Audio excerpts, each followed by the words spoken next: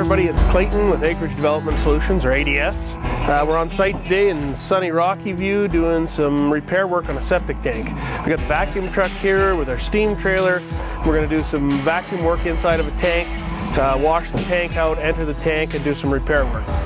All right, so we're out here on site. It's mid-October, mid to late October, sometime 2019, and we're just cleaning up from being down inside the tank.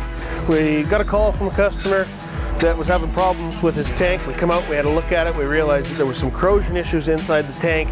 It's a pretty nice manicured yard, so we didn't want to bring the equipment in here and dig it up, and uh, we'd have to move a deck, we'd have to move some concrete, we have to remove some trees and tear up a bunch of lawn. We didn't want to do that. So what we decided to try this time is uh, to do a tank entry. So we brought the vacuum truck in.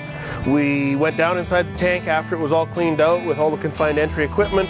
We pressure washed the inside of the tank and right now what we're doing is we've got an LB white heater on it and it's drying everything out so that we can apply a two-step epoxy that's going to go on the inside.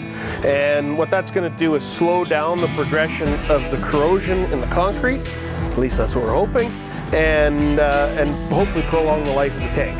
How many more years we're going to get out of the tank from uh, the way it would have been that's a little bit of a long shot question. We're probably going to get a few years out of it. Uh, in this situation, the corrosion in the tank was pretty intense.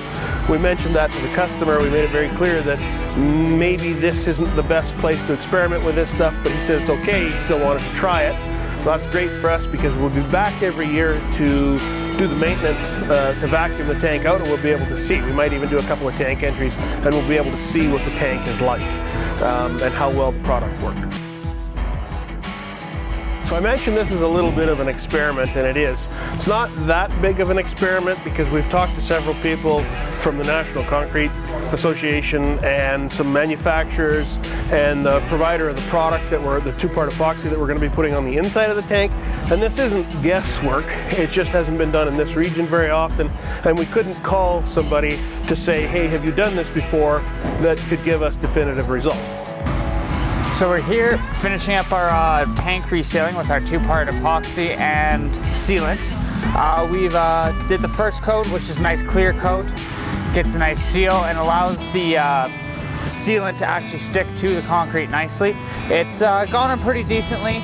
You really have to kind of work it into some of the rough spots, but I'm pretty happy with the outcome. So now that we're all sealed up here, we're gonna leave the heat on for a while in here, let the cure right up, and then we'll be back in a few days to make sure that it is sealed nicely and is ready for use.